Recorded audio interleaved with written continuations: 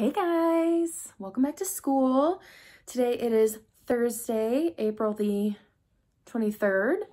Um, I hope you guys are doing well and I hope you get to enjoy your day off tomorrow. So we won't have any videos up, no story time, but we'll be back next week with more stories. Today's Winnie the Pooh story features my personal favorite character. Shout out to SS. This is also her favorite character. Chapter 4, in which Eeyore loses a tail and Pooh finds one. The old gray donkey, Eeyore, stood by himself in a thistly corner of the forest, his front feet well apart, his head on one side, and thought about things. Sometimes he thought sadly to himself. He's my favorite. He's so sad. Sometimes he thought sadly to himself, Why? And sometimes he thought, Wherefore? And sometimes he thought, Inasmuch as which? And sometimes he didn't quite know what he was thinking about. So when Winnie the Pooh came stumping along, Eeyore was very glad to be able to stop thinking for a little in order to say, How do you do? in a gloomy manner to him. And how are you? said Winnie the Pooh. Eeyore shook his head from side to side. Not very how, he said. I don't seem to have felt at all how for a long time. Dear, dear, said Pooh.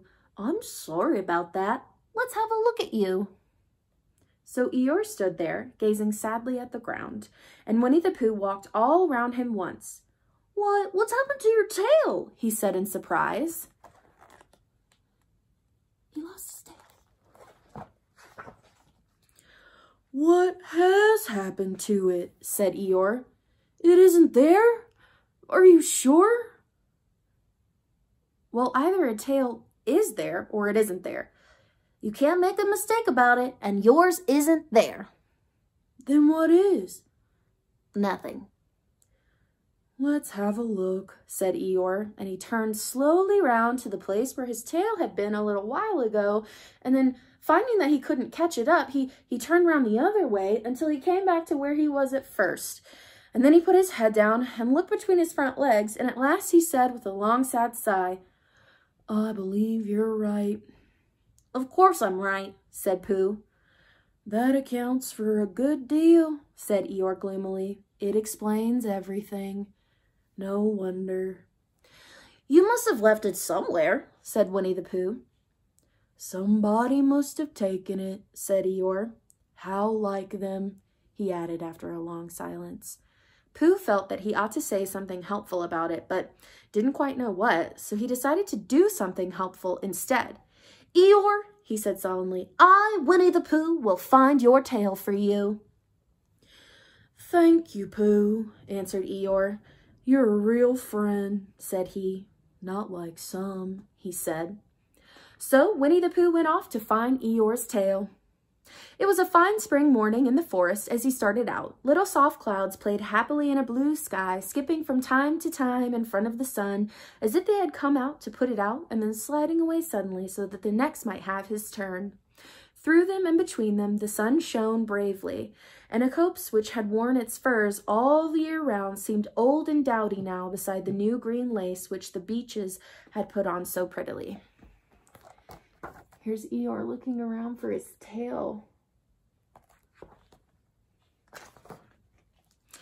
Though Copse and Spinney marched bear down open slopes of gorse and heather over rocky beds excuse me, through Copse and Spinney marched bear, down open slopes of gorse and heather, over rocky beds of streams, up steep banks of sandstone, into the heather again, and so at last, tired and hungry, to the hundred acre wood, for it was in the hundred acre wood that Owl lived. And if anyone knows anything about anything, said Bear to himself, it's Owl who knows something about something, he said, or my name's not Winnie the Pooh, he said, which it is, he added. So there you are. Owl lived at the Chestnuts, an old world residence of great charm, which was grander than anybody else's, or seemed so to Bear, because it had both a knocker and a bell pull. Underneath the knocker, there was a notice which said, Please ring if an answer is required. Underneath the bell pull, there was a notice which said, Please knock if an answer is not required, which it was very hard for me to read because that's how it's spelled. It's missing some letters. These notices had been written by Christopher Robin, who was the only one in the forest who could spell. Oh well. For Owl, wise though he was in many ways, able to read and write and spell his own name, W-O-L, that's not how you spell owl, yet somehow went all to pieces over delicate words like measles and buttered toast.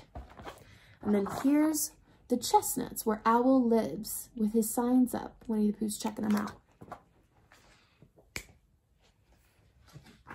Sorry, Tallulah's making the bed shake. Winnie the Pooh read the two notices very carefully, first from left to right, and afterwards, in case he had missed some of it, from right to left. Then, to make quite sure, he knocked and pulled the knocker, and he pulled and knocked the bell rope, and he called out in a very loud voice, Owl, I require an answer. It's Bear speaking. And the door opened, and Owl looked out.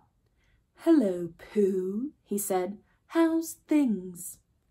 Terrible and sad, said Pooh, because Eeyore, who is a friend of mine, has lost his tail and he's moping about it. So could you very kindly tell me how to find it for him?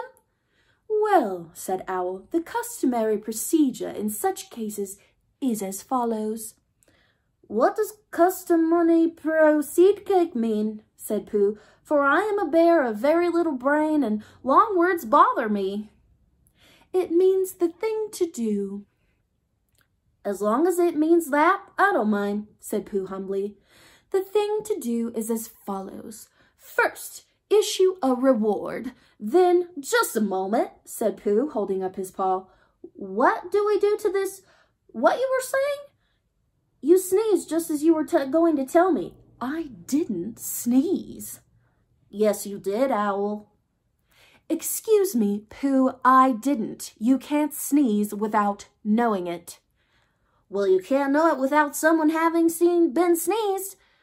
What I said was, first issue a reward. You're doing it again, said Pooh sadly. A reward, said Owl very loudly. We write a notice to say that we will give a large something to anybody who finds Eeyore's tail. Uh, I see, I see, said Pooh, nodding his head. Talking about large somethings, he went on dreamily. I generally have a small something about now, about this time in the morning. And he looked wistfully at the cupboard in the corner of Owl's parlor. Just a mouthful of condensed milk or whatnot, with perhaps a lick of honey. Well then, said Owl, we write out this notice and we put it up all over the forest. A lick of honey, murmured Bear to himself, or, or not as the case may be, and he gave a deep sigh. and tried very hard to listen to what Owl was saying. But Owl went on and on, using longer and longer words until at last he came back to where he started, and he explained that the person to write out this notice was Christopher Robin. It was he who wrote the ones on my front door for me. Did you see them, Pooh? For some time now, Pooh had been saying yes and no in turn with his eyes shut to all that Owl was saying, and having said yes, yes, last time he said no, not at all. Now without really knowing what Owl was talking about. Didn't you see them? said Owl a little surprised. Come and look at them now. So they went outside, and Pooh looked at the knocker and the notice below it, and he looked at the bell rope and the notice below it, and the more he looked at the bell rope, the more he felt that he had been seen something like it somewhere else sometime before. Handsome bell rope, isn't it? said Owl. Pooh nodded. It reminds me of something, he said, but I can't think what. Where did you get it? I just came across it in the forest.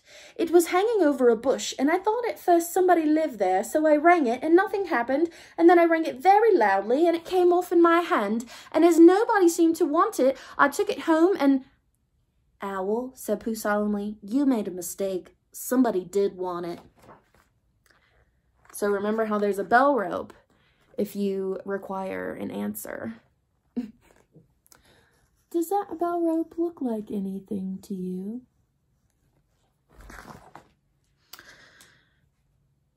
Who? Eeyore. My dear friend Eeyore, he was, he was fond of it. Fond of it? Attached to it, said Winnie the Pooh sadly. So with these words, he unhooked it and carried it back to Eeyore. And when Christopher Robin had nailed it on in its right place again, Eeyore frisked about the forest, waving his tail so happily that Winnie the Pooh came over all funny and had to hurry home for a little snack of something to sustain him. And wiping his mouth half an hour afterwards, he sang to himself proudly, Who found the tail? I, said Pooh, at a quarter to two. Only it was quarter to eleven, really. I found the tail. Here's Eeyore bebopping around. So happy to have his tail back. And that's how Pooh helped Eeyore find his tail. Until next time, kiddos, have a wonderful weekend.